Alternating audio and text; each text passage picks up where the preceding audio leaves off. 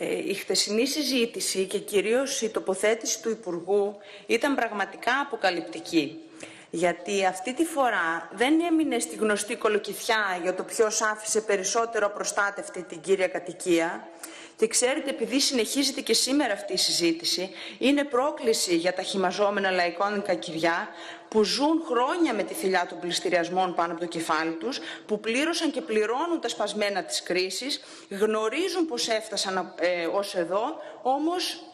ε, αυτό που ζητούν δεν είναι να ε, να αποδοθούν μόνο οι ευθύνες για αυτή την κατάσταση, αλλά να δοθεί πραγματική ε, λύση, να δοθεί πραγματική προστασία στην ε, πρώτη κατοικία τους και στη δυνατότητά τους πραγματικά να επιβιώσουν με αξιοπρέπεια το επόμενο διάστημα. Ακούσαμε δηλαδή ξανά ότι ο ΣΥΡΙΖΑ κατήργησε την οριζόντια προστασία και η Νέα Δημοκρατία, χωρίς να χάσει την ευκαιρία, έρχεται να καταργήσει και τα τελευταία απομεινάρια της. Και ενώ κάνει κριτική για την πλατφόρμα του νόμου 4605 του 19 του ΣΥΡΙΖΑ, που πράγματι δεν ήταν παρά μια προπαγανδιστική φούσκα αφού με τους όρους που έθετε ήταν απαγορευτική η πρόσβαση για τους περισσότερους οφειλέτες, Τώρα η Νέα Δημοκρατία έρχεται να θέσει ακόμα πιο αυστηρούς όρους και αυτό το βαφτίζει προστασία των ευάλωτων οφειλετών, δηλαδή αυτών που ζουν στα όρια της φτώχειας. Τον εμπεγμό αυτών της ρύθμισης τον έχουμε αποδείξει ήδη στις προηγούμενες τοποθετήσεις μας, αλλά τον καταδίκασαν και οι περισσότεροι από τους εκπροσώπους των φορέων που συμμετείχαν στη διαβούλευση. Δεν θα επαναλάβω τα αποσπάσματα από τις τοποθετήσεις τους, ήδη ακούστηκαν. Νομίζω δεν αφήνουν κανένα περιθώριο παρερμηνίας, ε, κυρίως για το γεγονός ότι, ότι όλοι αποδέχονται ότι οι τράπεζες θα είναι αυτές που θα έχουν πλέον τη δυνατότητα να ζητούν ανεξαιρέτως την πτώχευση μισθωτών, συνταξιούχων, ανέργων, δημοσίων υπαλλήλων, ούτε βέβαια ε, ε, ότι θα αποκτούν, ε, ότι τίθενται σε προτεραιότητα οι απαιτήσεις τους ακόμα και από τις απαιτήσεις του δημοσίου και των, μπορούν να τεθούν ακόμα και από τις απαιτήσεις των δημοσίων και των ασφαλιστικών ταμείων, ούτε βέβαια ότι για το σύνολο των λαϊκών στρωμάτων σφίγγεται περισσότερο η θηλιά, χωρίς την παραμικρή προστασία ακόμα και για αυτά, αυτά που ονομάζεται αυτούς που ονομάζεται ευάλωτους οφειλέτες. Όμως η χτεσινή συζήτηση ήταν και για κάτι ακόμα αποκαλυπτική. Γιατί αυτή τη φορά η κολοκυθιά συνεχίστηκε και για το ποιος οδήγησε περισσότερο τα λαϊκά νοικοκυριά στην υπερχρέωση, στις κατασχέσεις, στα παρατεταμένα οικονομικά αδιέξοδα. Ήταν το μνημόνιο του Πασόκ, της Νέας Δημοκρατίας και του Πασόκ ή το ΣΥΡΙΖΑ, του ΣΥΡΙΖΑ που το ψηφίσατε με χέρια και με πόδια όλοι μαζί. Νέα Δημοκρατία, Πασόκ και λυπή πρόθυμη της μίας ή λίγο παραπάνω χρήσεων. Το μόνο σίγουρο που επιβεβαιώνει αυτή η με περίσσιο θράσος ανούσια αντιπαράθεση είναι ότι από κοινού Νέα Δημοκρατία, ΣΥΡΙΖΑ, ΠΑΣΟΚ, ΚΙΝΑΛ νομοθετήσατε και συνεχίζετε και σήμερα να στηρίζετε τα αντιλαϊκά μέτρα που δημιούργησαν την οικονομική ασφυξία στους εργαζόμενους, τους αυτοαποσχολούμενους, τους συνταξιούχους, όλους αυτούς τους οποίους παραδίδεται σήμερα βορρά σε τράπεζες και φαντς όλους αυτούς που και στις συνθήκες της νέας καπιταλιστικής κρίσης που επιταχύνθηκε λόγω της πανδημίας δεν στηρίξατε ουσιαστικά απαλλάσσοντάς τους από μέρος των μη διαχειρίσιμων πλέον χρεών σε ασφαλιστικά ταμεία, εφορία, τράπεζες, ΔΕΗ και άλλα τόσα. Μιλάτε ξανά και ξανά για τις δίθεν διευκολύνσεις που δώσατε, για δίθεν ανάσα που δώσατε σε αυτοαπασχολούμενους επαγγελματίες, βιοτέχνες, επιστήμονες, αναστέλλοντας την καταβολή των οφειλών τους για λίγους μήνες. Το σημερινό όμως νομοσχέδιο είναι η απόδειξη ότι απλά μεταθέτεται για το αμέσως ε, επόμενο διάστημα τα οικονομικά ε, αδιέξοδα και τώρα τους τραβάτε το χαλί κατά από τα πόδια. Και αυτό το βαφτίζεται ως δεύτερη ευκαιρία. Θριαμβολογείτε γιατί βοηθάτε, λέτε, το λαό να απαλλαγεί από τις οφειλές τους. Οι δηλώσεις αυτές είναι τουλάχιστον εμπεγμός για να μην πω κοροϊδία. Έτσι τις χαρακτήρισαν και οι ίδιοι αυτοαπασχολούμενοι, οι μικροί επαγγελματίες βιοτέχνες, έμποροι και επιστήμονες που ήδη καλούν σε κινητοποίηση αύριο στο Υπουργείο Οικονομικών ζητώντας την απόσυρση του νομοσχεδίου. Αν οι πραγματικές προθέσεις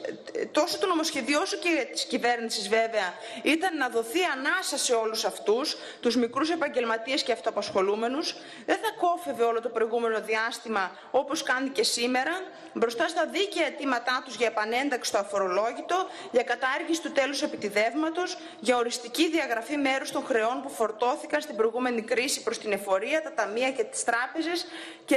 και βέβαια για το αίτημα ε, για πραγματική προστασία της πρώτης κατοικίας. Θέλει πολύ θράσος να ονομάζεται ως δεύτερη ευκαιρία ότι μετά την πτώχευση ο επαγγελματίας θα διατηρεί την άδεια άσκησης επαγγέλματος για να ξεκινήσει ξανά. Αλήθεια, τι θα ξαναξεκινήσει αυτός που μέσω των διαδικασιών που προβλέπονται θα έχει οδηγηθεί στη χρεοκοπία; Θα έχει απολέσει κάθε περιουσιακό στοιχείο συμπεριλαμβανόμενης και της πρώτης κατοικίας, την επαγγελματική του στέχη, τα επαγγελματικά του εργαλεία και παράλληλα θα δεσμεύεται και μέρος του ετήσιου, ετήσιου εισοδήματός του που θα βγάζει από εδώ και πέρα προκειμένου να αποπληρωθούν τράπεζες, κράτος και άλλοι πιστωτές όπως ΔΕΗ κλπ. Βέβαια, το ίδιο επανέλαβε χτες ο, ο Υπουργός και για όλη την κλίμακα των εργαζομένων και λαϊκών στρωμάτων. Όλα τα φυσικά πρόσωπα ανεξαιρέτως, που με αυτές τις πρωτόγνωρες ακόμα και για τα δεδομένα του αστικού δικαίου διαδικασίες μπορούν να εξαναγκάζονται σε πτώχευση. Λέτε ότι δήθεν θα,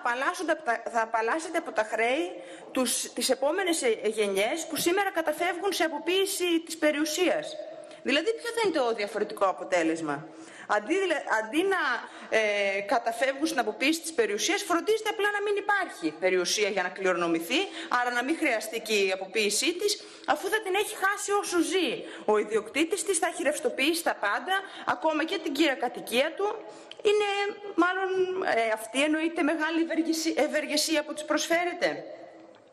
Λέτε ακόμα ότι για τους πολύ ευάλωτους οφειλέτες, ποιους δηλαδή όσους ζουν με τα κατώτατα εισοδήματα στα όρια της φτώχειας και της εξαθλίωσης, τους δίνεται τη δυνατότητα να σώσουν το σπίτι τους. Και μάλιστα παρουσιάζεται ως ένδειξη ότι αφουγκράζεστε τις παρατηρήσεις των ε, φορέων, ότι σε αυτές τις ρυθμίσεις θα ενταχθούν και όσοι έχουν την εμπορική ιδιότητα. Ορθό. Όμως είναι και για αυτούς επαρκής η ρύθμιση ώστε να ε, ε, προστατευτούν.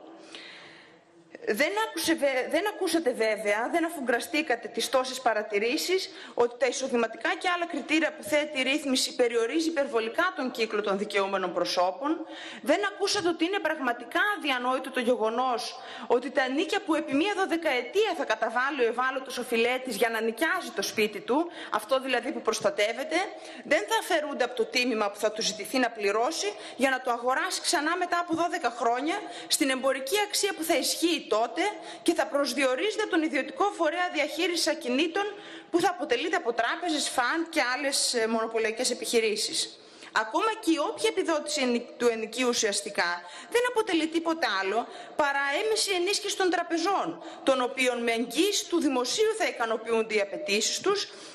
και αυτές σε,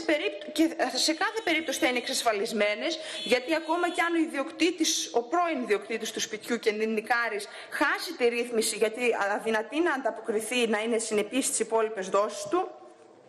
ε, αυτά τα, αυτά τα, αυτές οι δόσεις που θα έχουν καταβληθεί μέχρι τότε δεν επιστρέφονται και στην καλύτερη περίπτωση αν χρειαστεί να αγοράσει το σπίτι του που δεν θα μπορεί πια να βγει από τη ρύθμιση, θα πρέπει να καταβάλει από την αρχή το σύνολο του τιμήματος. Θα μπορούσε δηλαδή να αγοράσει και ένα άλλο σπίτι στην ίδια ή άλλη αξία. Με τι εισόδημα να αγοράσει το σπίτι του, αυτό που θα έχει δεσμευτεί θα έχει χάσει και θα παλεύει να βρει τη δεύτερη ευκαιρία.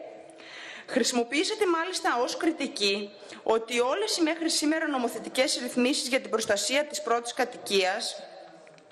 προέβλεπαν ότι ο φιλέτης ουσιαστικά για να σώσει το σπίτι του χρειαζόταν να καταβάλει σε περισσότερες δόσεις την αξία του. Αυτό είναι αλήθεια. Γι' αυτό η πρόταση νόμου του ΚΚΕ,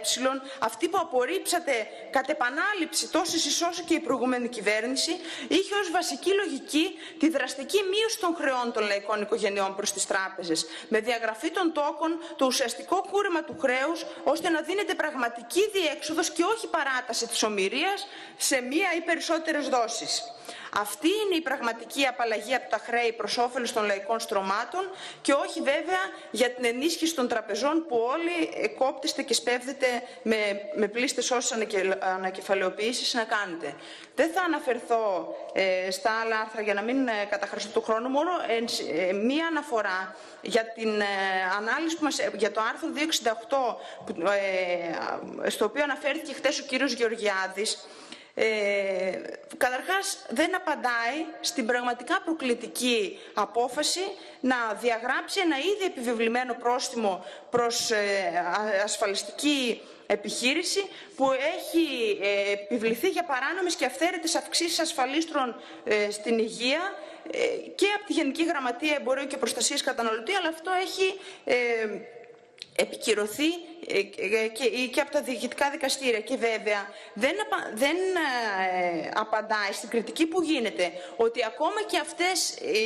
αυτά τα κριτήρια που υποτίθεται ότι βάζει το νομοσχέδιο για να περιορίζει τάχα τις αυθαίρετες αυξήσεις των ασφαλίστρων, ουσιαστικά δεν είναι επαρκή, διότι είναι σαφή η νομολογία που αναφέρεται στα ζητήματα αυτά, λέγοντας ότι ο περιορισμός των, των, της αναπροσαρμογής των ασφαλίστρων θα πρέπει να, να, θα πρέπει να, να περιγράφει και με, σε τι ποσοστό το κάθε από αυτά τα κριτήρια θα ε, συμβάλλει ώστε να, να διαμορφωθούν τα ασφάλιστρα. Καταλαβαίνετε ότι το να δίνεται απλά τη δυνατότητα στους ασφαλισμένους να καταγγείλουν, δηλαδή, ουσιαστικά να χάσουν τις όποιες ασφαλιστικές εισφορές έχουν δώσει μέχρι τότε ε, δεν είναι λύση γιατί είναι γνωστό ότι δεν θα μπορούν να αντιδράσουν γιατί φεύγοντας από μια τέτοια παλιά ασφαλιστική ρύθμιση, είτε λόγω ηλικίας, είτε επειδή θα έχουν προβλήματα υγείας, δεν πρόκειται να βρούνε ε,